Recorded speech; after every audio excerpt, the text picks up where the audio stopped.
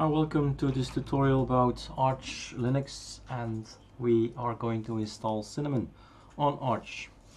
As you can see we're working at the moment on our Linux Mint 18.1 with some specific uh, adaptations, ArcDark Crimson and Sardi Mono Scalora Vampire for icons, ZSH and the latest kernel.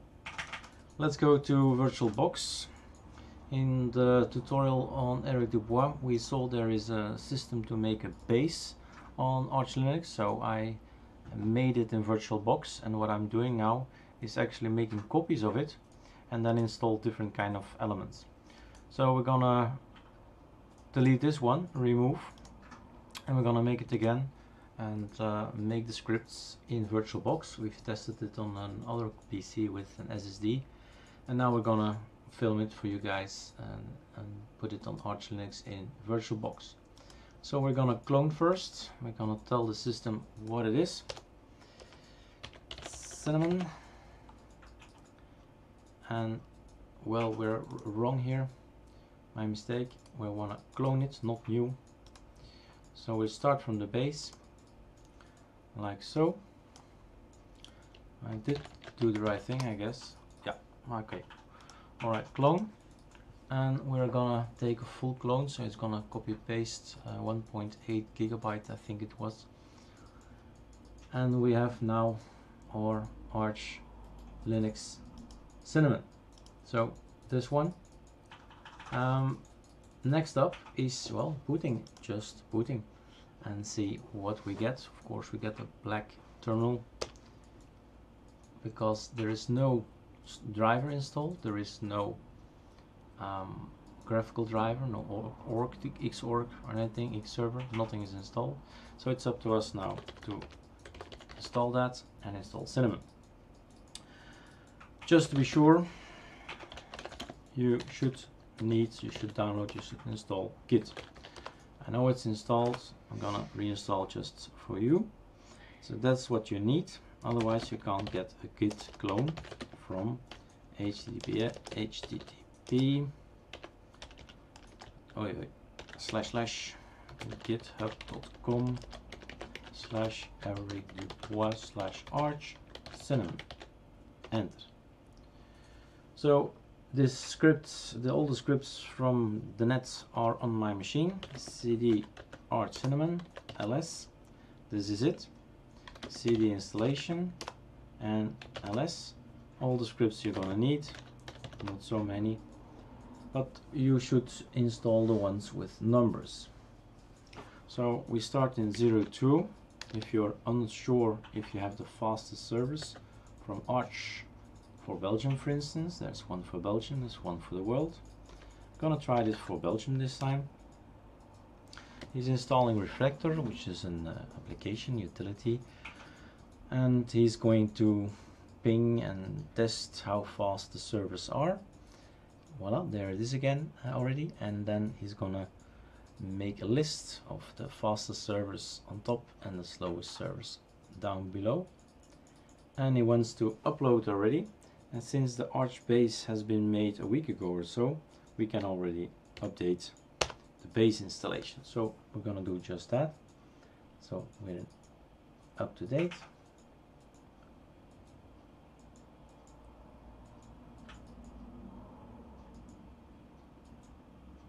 This is something you normally shouldn't do since you're installing straight away and everything is up to date but since there is a, a lap time lapse in between we can update.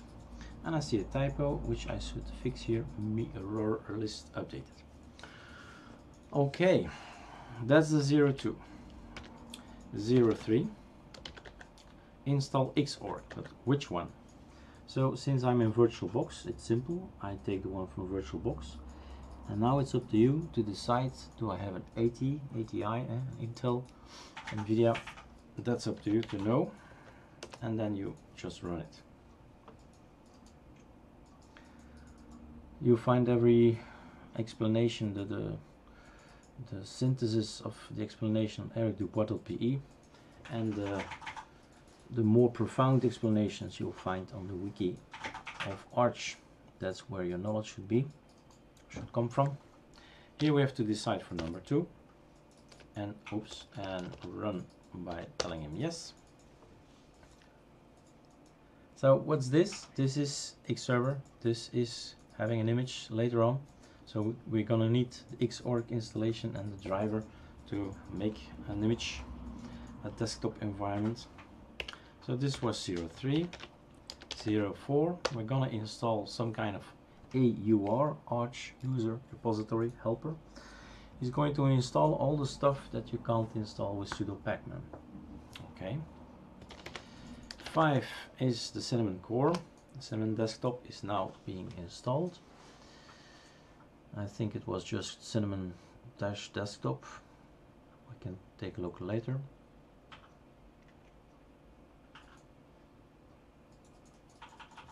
By the by, you can take a look here, of course, now, since we're on a virtual machine. I'm just going to have a quick look on GitHub, because it's interest, interesting to know if you press GitHub as before, and you go to the GitHub,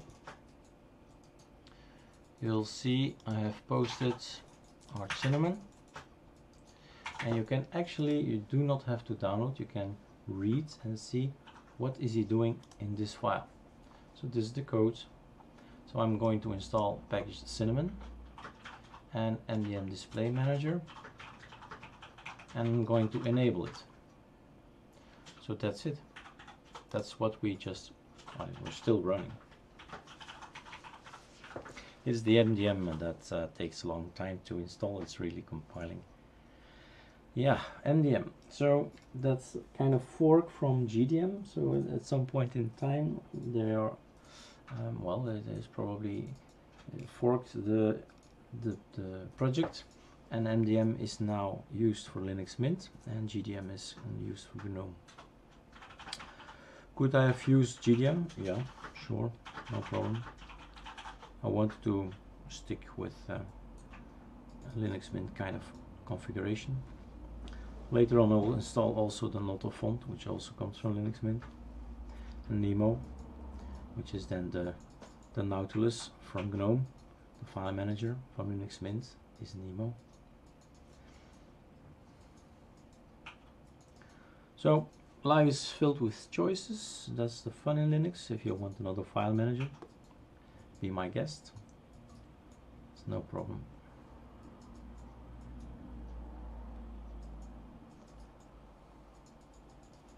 Gonna pause the movie here.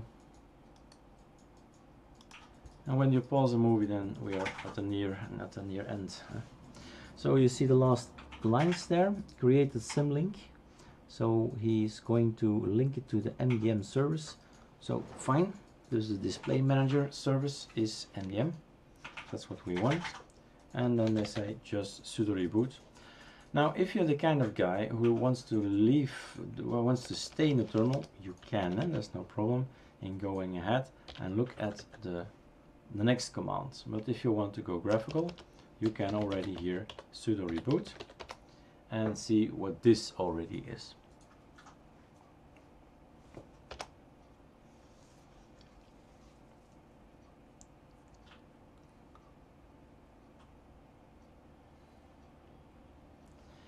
I agree that uh, MDM when just installed out of the box is not nice. Uh, it can be much better. So I'm gonna install those. Uh, I'm gonna log in I mean. I'm gonna log in, running a software, blah blah blah, fine. And here we are. This is the initial look when you don't have theming, don't have icons, not all uh, text, fonts, no fonts, the cursor. So still a lot of still a lot of work to do, but we are in Cinnamon. So we can go ahead and check out what's next. Next is install the core software. So double clicking now is maybe more fun. In the meantime, while it's doing that, we can fix our system. Let's start with some small stuff. We want a custom icon. I want to say to the world, look, I have an arch cinnamon. whoops I have to make my keyboard but let's quickly write it anyway this is not the M this is the M yep like so so Arch Cinnamon two spaces makes it look even better. So we have here the small Arch Cinnamon the name of the menu. Uh, what else can we do in the meantime?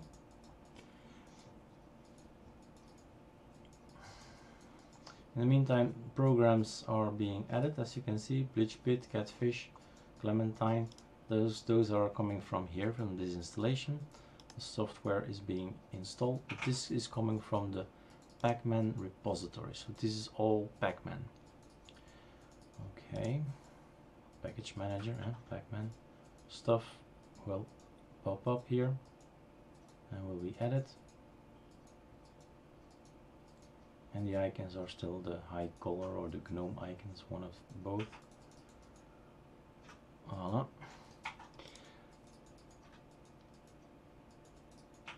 I'm wondering if we can go to full screen. Remember host F. Okay, nice to do that, so we can, ah, just crashed, okay, restart. Doesn't like to be in this virtual machine but okay we're working again so the full screen was a bit tricky in VirtualBox but here we are it's running and we are still I hope filming here we have the sound yep it's working. We have uh, that we're wired and we have a menu. In the meantime this one is gone.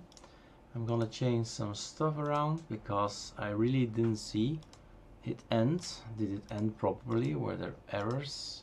It's finished and it closes. So I'm gonna do that better next time. So I'm gonna open this here this little icon. And then I'm gonna okay I'm gonna get my keyboard. So here is my keyboard. Where is my keyboard?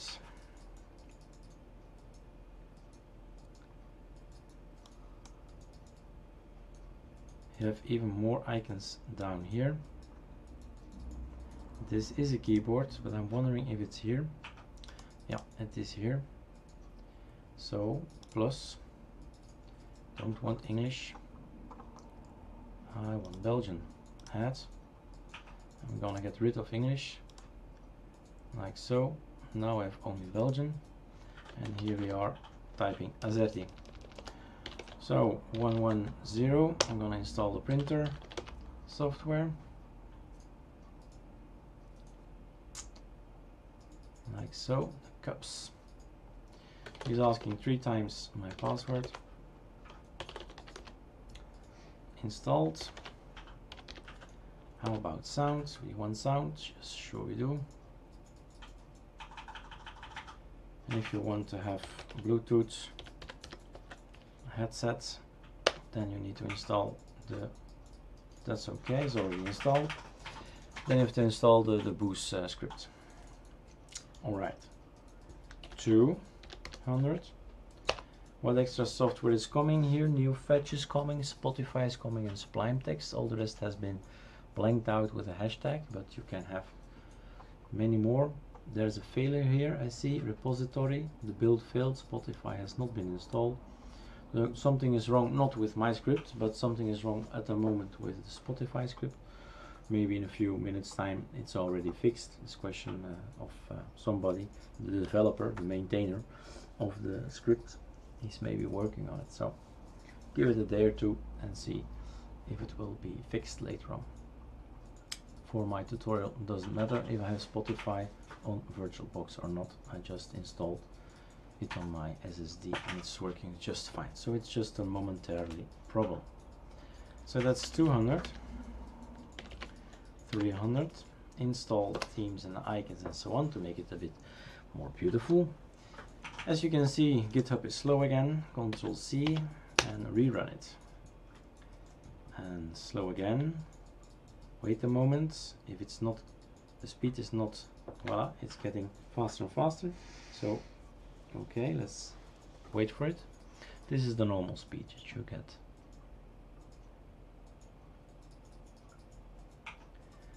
then the Sardi icons okay great speed. Some SourceForge and again from GitHub one. And there we go. And now we go to the GTK arc and the snow cursor. Little little program but a nice cursor makes it. Is a finish. 400 we install software that's particularly interesting for this kind of software for this kind of um, distro I mean. I've installed MDM Teams here as well. I have tried it out. I'm gonna get rid of MDM again. Not particularly uh, positive um, uh, experience. I had to hack it again back in atc-mdm dash custom conf get code out of it in order to be able to log in back log, log back in. So not uh, interesting so I'm gonna get rid of that in the code. And then 500 or Samba. We can skip that one. That's for sharing. I've tested it so many times it will work. And then the personal settings are going to be copied. Check out this here everything is now be a lot of uh, bookmarks that has been have been added. And we can't start but Firefox has has run already so we can start 700 already. So Firefox needs to be you need to run it once because otherwise you don't have a folder to write to so that's done. And let's now make it a little bit more pretty like so and let's go. Alright so preferences. Go down themes right mouse click add to panel right mouse click add to favorites. Move this up here. Click it. Let's make it beautiful. Let's go to arc dark the standard arc dark why not? A lot of icons to choose from. Why not the Orb Colora and then the arc uh, dark this one and arc dark. So so this is another look but well my eyes are not that young anymore. This is way too small for me. I'm gonna change the cursor as well here. You can set here some icons or not the font is too small. I'm gonna change it to 11 and while we're at it I'm gonna change it to Noto. Oh my god sans regular. Now all the way up this one. Select. Much nicer. 11 Noto sans regular. And now all the way up. Like so. Same here.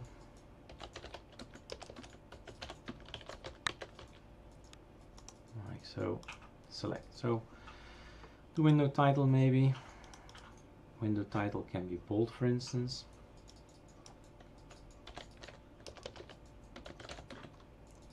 Um, yeah correct eh? and then all the way up and now you can say for instance why not go bold? Italic? Why not bold italic? Let's try it. So now we have these elements here that are looking this way. I do find to I do think it can be for me anyway a little bit bigger as well. Let's give it a try. So everything looks a bit bigger now. Like so. The wallpaper is really ugly. Guys do something about it. So continue. No thank you. And then what I do it's up to you. Don't want Bing ever on my screen. Unsplash that no, that's not what I want. Neither is this one. So I only want the ones from Desktoppr And you can download me every minute one, sorry, every minute I want one new wallpaper and you can change the wallpaper on start like that. So blah blah blah he says up here and then you scroll over the icon and that's much better. So in the meantime we have we're looking at this here. All icons look normal. They are all Sardi orb icons. Everything looks like it should. And then we maybe once we may once we may want to use just an option to install also the Conky. And Conkeys are over here and this is the place where the conky will be read and here is the hidden folder from Aureola and all you have to do is open a terminal and tell them to install and just listen what it has to say. Would you like to install the font? Yes. Without the font it's ugly. The fonts make dimensions and make it nice. And we're going to install all the packages we need so it knows when it's on Linux Mint it knows when it's on Arch so it's going to pacman or packer stuff or sudo apt-get or apt install stuff. So that will be in a few minutes will be there. So it will pop up here on the right. The other thing we might want it's not necessary but plank is there. If we right mouse click here you can do preferences with the control, control mouse click, uh, right mouse click, and the bottom is not the right place. Rather have it on the top with an icon to zoom in and one of my hundred uh, transparent for real. That's really transparent, yeah. I rather have it white, translucent panel for this time. So now we have this here. Our terminal looks quite ugly as well in my eyes. Preferences, show menu bar, no. Then profile preferences, custom font, yes, too small for me, too small for you to see as well. When we make tutorials and then use the color, scrolling, don't limit it, don't scroll bar, and that's about it, I think. The only thing I'm missing here that I can't select I will fix it later on we can't select the terminal to be transparent let's wait for this thing here to finish and the conky to pop up here to the right there's my conky bye so it didn't find the CPU temperature meaning have, you have to go into the conky file and check what line is it and what codes and figure it out in commands line or what you should change. Okay. Um, yeah, the terminal. That was uh, what was still open here. So we're going back to the home, to the data file. Nope, not the data file. The Arch Cinnamon file. Let's move it in the data file. So this is the file we downloaded and in the installation file you'll find the GNOME, GNOME Terminal Transparency version 1. So run it. It's removing the GNOME terminal, so as we speak now, if something goes wrong, you don't have a GNOME terminal anymore. Doesn't matter, just type term and you'll see you have root terminal still and terminator, so there's still backup uh, terminals present so so always a good thing to have those even if you don't use them as backup for the rest you see here icons with an, uh, an orange kind of signal that means that I have not yet installed Dropbox. So when I install Dropbox it will get its own directory and it will be here and it will be called Dropbox. And InSync has been created but not yet didn't run it yet. And the same applies for all the rest here these icons here these uh, yellow things.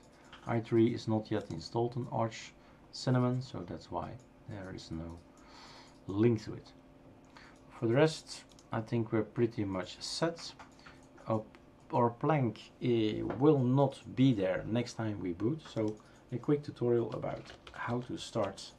Make sure that your plank is started next time. Add, choose application, plank, enter. No, not enter. Click, enter. And then next time plank will be booted. All the rest is okay. You can leave all the rest. Yeah, it takes a while for the GNOME Transparency terminal to compile, but the result will be beautiful. Now this is a wallpaper. There we go. Control Alt T. This is our GNOME terminal. Now we have this little slider in here where we can say, please give me a transparent background in order to be able to look at my desktop. I'll leave the, I'll stop here with this tutorial and we'll move on with other stuff to tell in the next tutorial.